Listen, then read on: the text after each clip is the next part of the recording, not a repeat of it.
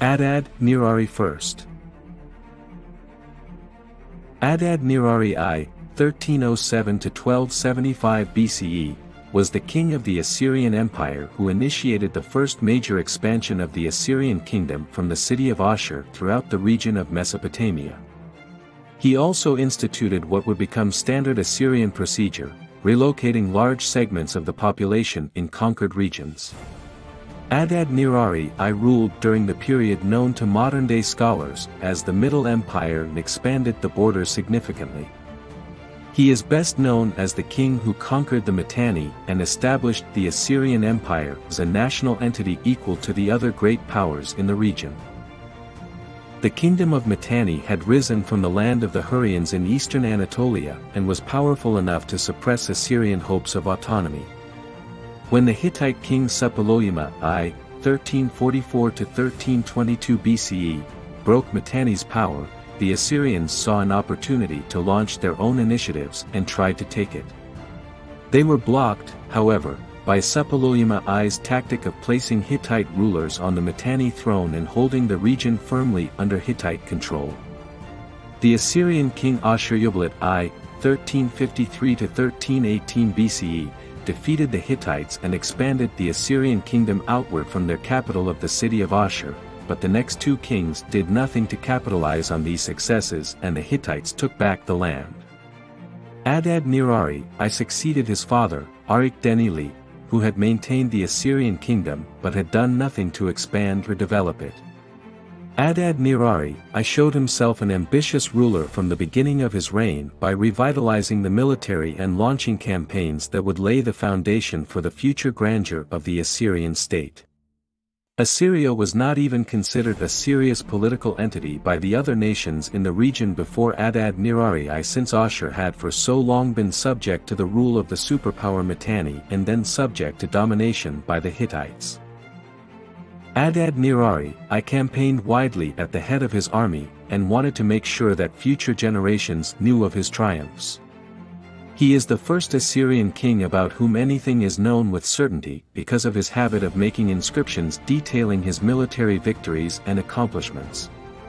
His memorial stele reads, in part, Adad Nirari, illustrious prince, honored of the gods, lord, viceroy of the gods, city founder, destroyer of the mighty hosts of Kassites, Kuti, Lulumi, Shubari, who destroys all foes north and south, who tramples down their lands from Lubdu and Rapiku to Eliahat, who conquers the whole Kashieri region.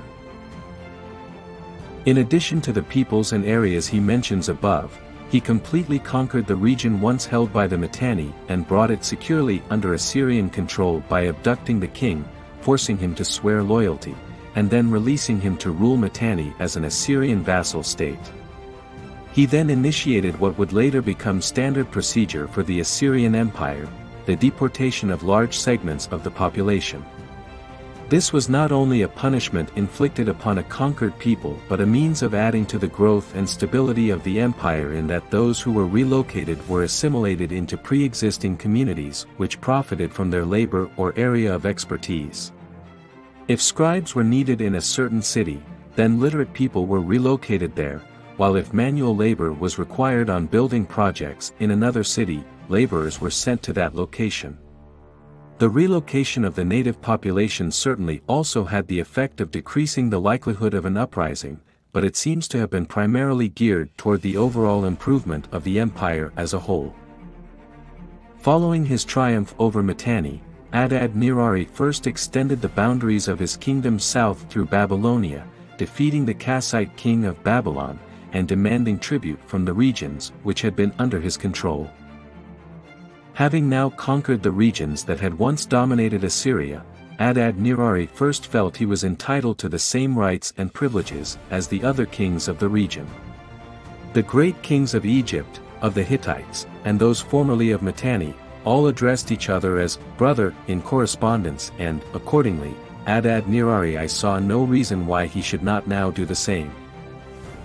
Mitanni had, of course, been under Hittite control and when Adad Nirari first conquered the region, he wanted to ensure peaceful relations with the Hittites to the north and west.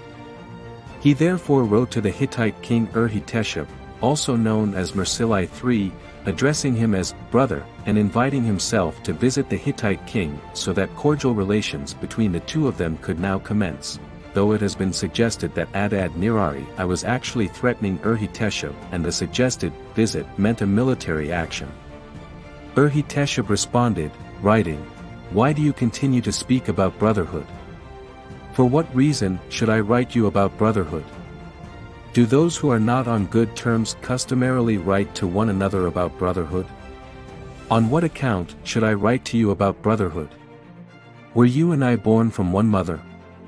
As my grandfather and my father did not write the king of Assyria about brotherhood, you shall not keep writing to me about brotherhood and great kingship. It is not my wish. Bryce, 76 to 77. Urhi was overthrown by Hattusili III who swiftly made every effort to respect the envoys of the Assyrian king and to write asking him for help in handling a problem with the town of Turaira on the upper Euphrates, formerly a Mitanni village, now on the border between the lands of the Hittites and those of the Assyrians, which was harassing the people of the Hittite city of Carchemish. There seems to be no record indicating Adad Nirari first sent any aid to Carchemish and the rest of Hattusili's third letter may explain why. The Hittite king apologizes for the way his predecessor treated Adad Nirari first envoys and makes mention of their sad experiences at the Hittite court. Hattusili III then rather petulantly complains that Adad Nirari first did not send him gifts at his coronation, which was expected from one great king to another. It could be that Adad Nirari I, now in a secure position of power, no longer felt compelled to seek friendly relations with the kings of the Hittites. He did not need them anymore. When he had conquered Mitanni, Adad Nirari I took the king Shatuara I back to Ashur in chains, made him swear his allegiance to Assyria, and then released him to rule as an Assyrian vassal. When Shatuara I died, his son Wasashata mounted a revolt and appealed to the Hittites for aid. The Hittites accepted Wasashata's gifts, which would have meant they would grant his request for assistance, but at the time were preoccupied with their relationship with Egypt and, presumably for this reason, never sent the support. It is entirely possible that, recognizing Adad Nirari first strength and tallying up his victories in the region, the Hittites simply thought it more prudent not to prompt an Assyrian action against them and to leave Wasashata to his fate. Adad Nirari first marched his troops into the former Mitanni kingdom, defeated the forces of Wasashata at the village of Erite, later known as Ordi, and then continued through the region sacking and plundering the cities that had supported the rebellion. He brought the royal family back to Ashur as slaves. Adad Nirari first ruled for 33 years and, in that time, not only campaigned widely with his army but initiated impressive building projects. After his destruction of the cities in the region of Mitanni, he ordered them rebuilt on a grander scale. He extended and enlarged the walls of his capital city of Ashur, had larger and longer canals dug, and improved irrigation methods in the region. Temples that had fallen in disrepair or had been damaged by military engagements were restored, and roads were built or improved upon, mainly in order to move his army more quickly through the regions he conquered. By relocating certain segments of the population, he was able to maximize the efficiency of communities in manufacturing necessary commodities, which increased their individual wealth and the wealth of the empire through trade.